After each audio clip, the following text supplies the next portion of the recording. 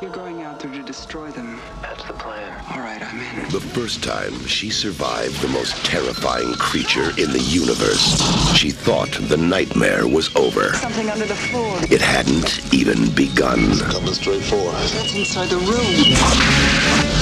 Sigourney Weaver, Aliens, the new movie. This time, it's war.